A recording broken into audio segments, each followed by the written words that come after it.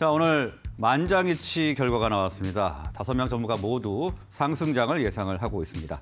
먼저 카카오페이 증권의 윤정식 부장은 2차 전지와 반도체에 관심을 가지고 있습니다. AJ 인베스트먼트의 이재규 대표는 기아에 주목을 하고 있고요. KTB 투자증권의 이성훈 과장은 레이에 관심을 가지고 있습니다. 모두 투자 그룹의 김민재 팀장은 네오셈에 관심을 갖고 있습니다. 비전경제연구소 김태성 팀장은 서진 시스템에 주목을 하고 있습니다.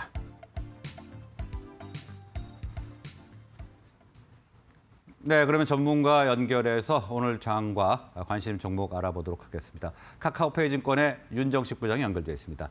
윤정식 부장 나와 계십니까? 네, 안녕하세요. 네, 안녕하십니까. 자, 먼저 오늘 투자 전략 어떻게 가져가야 될까요? 네, 어, 미국 증시가 2거래일 연속 하락을 뒤로 하고 상승하는 모습을 보여줬는데요. 이 미국 증시 상승에 대한 뭐 기사라든지 헤드라인들을 보면 뭐 오미크론 우려가 완화됐다라는 얘기가 나왔지만 사실은 뭐 그동안 오미크론 우려가 오미크론으로 인한 뭐 코로나 확진자 수가 지금보다 뭐 더 많이 늘어나거나 더 많이 줄어들거나 그러지 않고 비슷한 수로 계속 나오고 있죠. 오미크론은 사실은 이 증시에 미치는 변수가 아니라 이제는 상수가 됐습니다. 코로나는 그냥 이 지속적으로 유지되는 그냥 마이너스의 상수다 정도로 보시면 될 것 같고요. 미국 증시가 그럼 왜 상승을 했냐라는 부분들을 좀 더 세밀하게 살펴본다라면은 4분기 실적 기대감입니다. 우선 표면적으로는 사회 지출 법안 통과에 대한 기대감들이 있습니다. 그러면서 이 기대감이 반영이 되었고요. 태양광과 2차 전지 업종들이 전기차 업종들이 그러면서 상승을 했죠.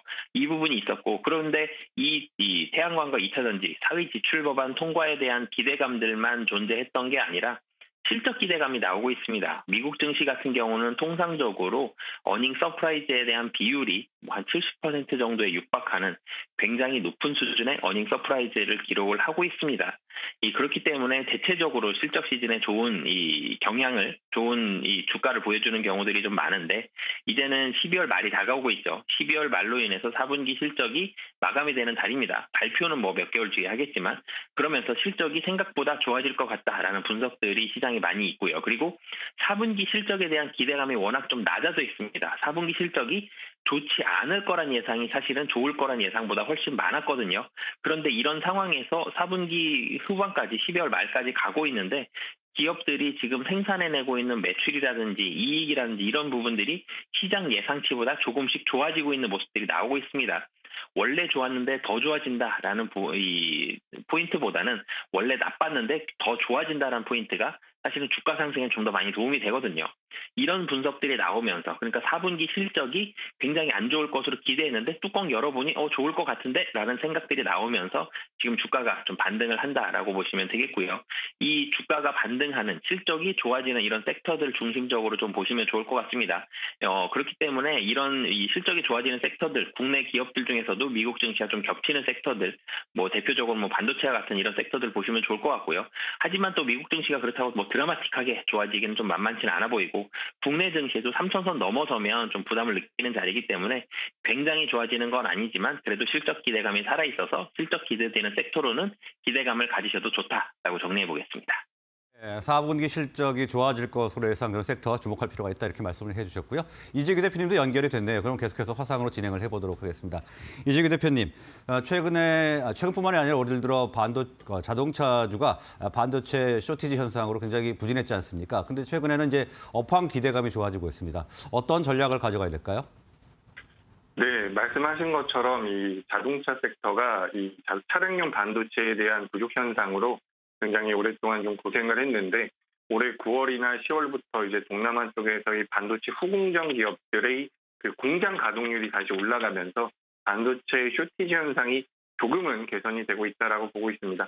오늘 아침에 뭐 뉴스를 좀 보니까 기사를 좀 보니까 반도체 그 차량용 반도체 공급에 대한 공급난이 완전히 해소되는 것은 2023년이 될 것이다라는 내용이 있는데 사실 그런 것들을 고려하더라도 지금 현재 우리나라에서 자동차 관련주들 같은 경우는 충분히 매수하기 좋은 매력적인 자리라고 보고 있습니다. 실제로 우리나라의 현대기아차 같은 경우는 다른 나라들이 다른 기업들이 그런 2021년도 어, 실적 대비 반도체 쇼티지 현상에 따른 공급 부족, 반도체 공급 부족에 따른 실적 악화 정도가 굉장히 미비한 편이고 실제로 이 부분은 중국에 대한 매출을 많이 줄이고 다른 나라 를 통한 매출을 늘리는 이 현대차와 기아차의 그런 전략이 좀 주요했다라고 볼 수가 있겠습니다. 올해 매출이 20%가 작년 대비 늘어났고 영업이익도 늘어나고 있는 상태에서 현재 전 세계적으로 전기차에 대한 매출이 일반 자동차들 중에서 전기차의 매출 비중이 차지하는 매출이 차지하는 비중이 계속해서 늘고 있는 상태이기 때문에 2022년도에 전기차에 대한 현대와 기아의 공격적인 투자가 단행된다라고 한다면 지금 현대차와 기아 같은 경우는 주가의 상승 여력이 남아 있다라고 볼 수 있겠습니다. 지금 시장 자체가 뭐 반도체가 오늘 어제 어제 오늘 올라올 가능성이 높고 이런 현상이 지속이 된다면 지금 2022년도로 넘어가면서 그동안 시장에서 불안을 야기했었던 공급망 병목 현상이 어느 정도 해소될 가능성이 높아요. 그렇다라고 한다면 자동차 쪽에 대한 관심이 굉장히 필요하다라고 보고 있고 올해 자동차를 사고 싶어도 사지 못했었던 이런 수요가 내년으로 이연될 가능성이 높기 때문에 자동차 업종 같은 경우는 지금부터 좀 봐야 되겠다라는 말씀을 드리고 싶습니다. 예, 그럼 이제 어, 관심주로 좀 넘어가 보도록 하겠습니다. 윤정식 부장님 관심 섹터 부탁드리겠습니다.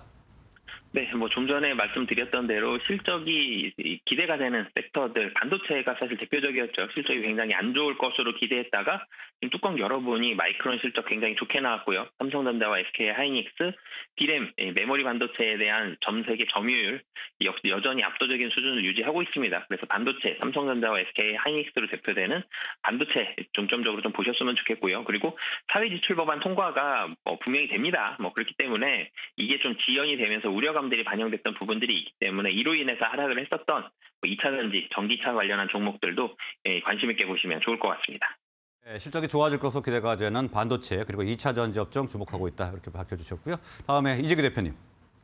네, 어, 저는 기아를 말씀드리고 싶습니다. 말씀드린 것처럼 2020년에 2022년도에 그 전기차에 대한 수요가 늘어날 가능성이 높고 기아 같은 경우도 전기차에 대한 뭐 공격적인 투자, 적극적인 투자가 진행되면서 EV6를 비롯해서 유럽에 대한 매출이 2022년도에도 상승할 가능성이 높다라고 봅니다. 올해도 전년 대비해서 성장을 했는데 내년에도 올해 대비해서 성장을 할 가능성이 높기 때문에 지금 기아 같은 경우는 관심이 필요하다는 말씀을 드리고 공사 같은 경우 또 다른 나라 자동차 완성차 업체들에 비해서 어, PR 기준으로 저평가가 되어 있는 상태이기 때문에 뭐 기노브로 접근을 해본다면 충분히 좋은 투자처가 될 수 있다. 이렇게 말씀드리겠습니다. 네, 차량 판매 증가가 예상되는 기아 분석을 해주셨습니다. 오늘 말씀은 여기까지 듣겠습니다. 고맙습니다. 감사합니다. 감사합니다.